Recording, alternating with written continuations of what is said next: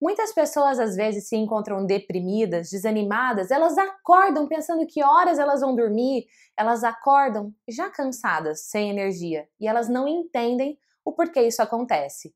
E nesse episódio de hoje eu vou contar para você como é que funciona a psicologia da motivação e da desmotivação. Vem comigo que eu vou te mostrar.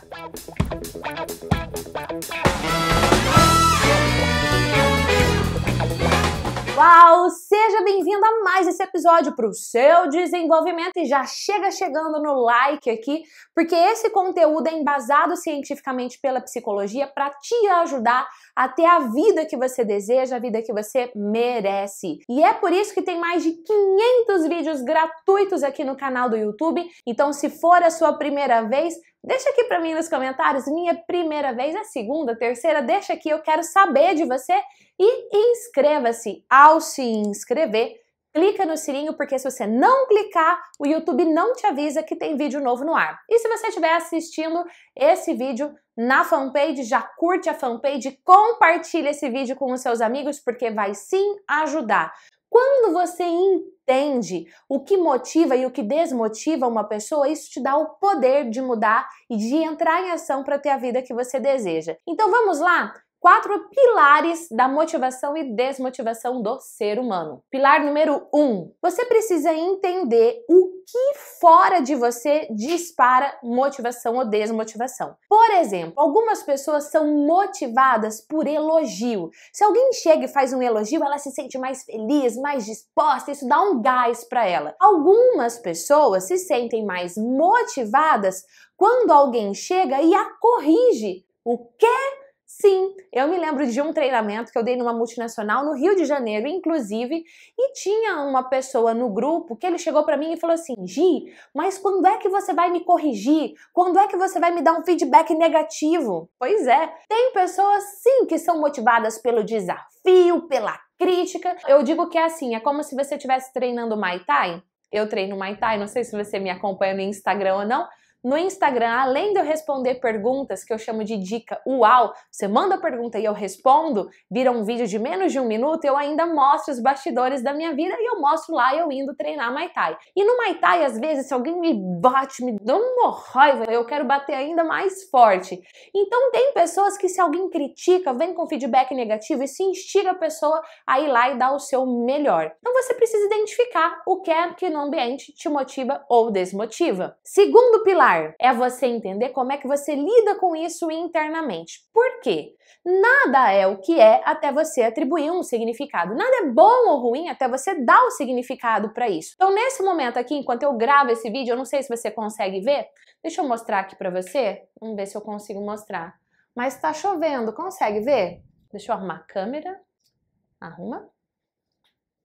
Às vezes, para uma pessoa, quando chove, isso a deixa deprimido, mas a chuva não tem esse poder. É como você interpreta a situação da chuva. Então, você precisa sim identificar o que acontece externamente Pilar número um e pilar número dois, como é que você lida com isso internamente. Se você for uma dessas pessoas que é desmotivada pela crítica, você pode mudar isso, porque o mundo vai parar de te criticar? Não. Pergunta como eu sei disso. Apesar de eu trazer um conteúdo embasado cientificamente pela psicologia gratuitamente na internet, tem um monte de gente que me critica, tem um monte de gente que põe o dedo no não like e tudo bem, mas isso é a forma com que eu interpreto. Se você interpretar as críticas que vêm até você de uma forma destrutiva, vai minar a sua autoestima e a sua motivação. Inclusive, se você quiser que eu fale mais aqui sobre como lidar com críticas, coloca aqui nos comentários hashtag quero mais que eu volto no canal para a gente falar mais sobre isso. Terceiro pilar, você precisa entender como o seu cérebro funciona.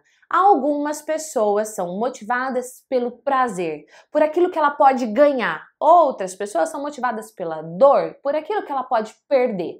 Exemplo, se eu perguntar para você por que, que você está assistindo a esse vídeo no YouTube, se a resposta for porque eu quero me desenvolver, porque eu quero crescer, porque eu quero melhorar, o seu filtro da motivação para se desenvolver é por prazer. Se você responder porque eu tô com a minha autoestima baixa, porque eu quero mudar, porque eu não quero ficar para trás, o seu filtro é a dor.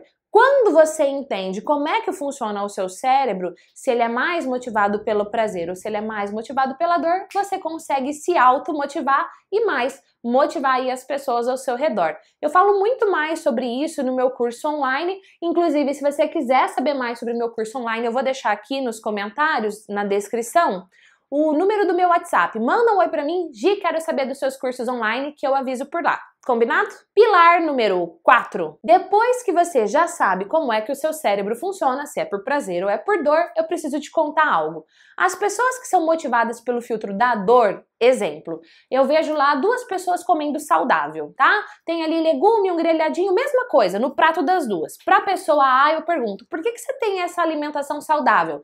E ela fala, porque eu quero ficar bem, porque eu quero ter saúde. Filtro do prazer. Aí eu pergunto para a pessoa B, por que, que, você come isso? E ela me responde, nossa, uma cigarra voando aqui. E eu pergunto para a pessoa B, por que, que você está comendo isso? O que, que te motiva? E ela fala, porque eu não quero ficar gorda, porque eu não quero ficar mal, porque eu não quero ficar sozinha. É a mesma ação, comer comida saudável, mas o que motiva uma é o prazer, o que motiva a outra é a dor. O que, que acontece? A pessoa que é motivada por dor, ela sofre mais, porque o sofrimento nem aconteceu, ela já antecipou o sofrimento. Então, se o seu filtro for o filtro da dor, você precisa mudar. Literalmente você precisa mudar. Hoje, mas qual é o melhor filtro? O melhor filtro é o filtro do prazer e depois o da dor. Então você responde: o que, que eu ganho alcançando isso? Pá, pá, pá, tudo que você ganha.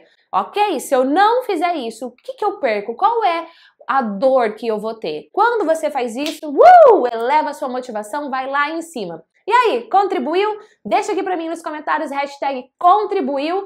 Deixa sua pergunta, porque é essa pergunta que vira novo conteúdo aqui para você. Beijos, fique com Deus eu te beijo no próximo episódio. Tchau! Ah, antes de você sair, ó, dá uma olhadinha aqui do lado. Outros vídeos sugeridos para você se desenvolver ainda mais.